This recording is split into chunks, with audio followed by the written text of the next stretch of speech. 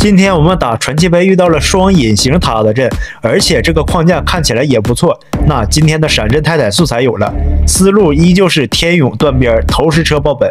但是投石车害怕连弩和迫击炮，那先用永王把他们打掉。前期任务保护投石车，带闪电地震法术最大的作用就是断边，并且打掉我们比较烦的防御。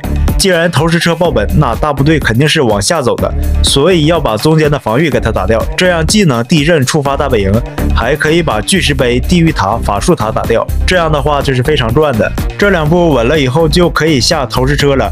天勇撑不住了，就狂暴奶一波。野蛮人探一下有没有陷阱，等勇王把连弩和迫击炮打掉以后，就可以不用管了，让投石车自己报本就可以。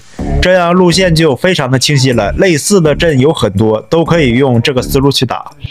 一个超哥断边，这次我们没有带女巫，换成了皮卡，感觉女巫有时候不能发挥太大的作用，然后换成皮卡来试试它的威力。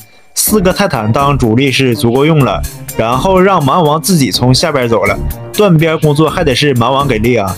又是兵人守家，玩泰坦的时候就烦这玩意儿。他这里的隐形塔保了一下天鹰和地狱塔，我感觉作用不是很大吧，我还是比较喜欢用毒药塔进行防守。冰一下单头地狱塔，保一下泰坦，剩下的基本就是坐等了，派出闰土一起收尾。十五级大本营是真的肉啊！投石车打了半天都没有爆本，所以闪阵法术在中间断边的作用就看出来了，不会让大部队去接触大本营，完全分成了两个板块，谁也不影响谁哈。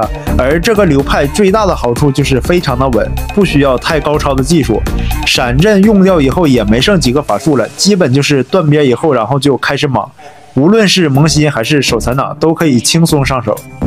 修叔也玩了一段时间这个流派了，感觉还是不错的，继续给大家推荐。如果部落战遇到类似的阵型，那我们可以轻松拿捏。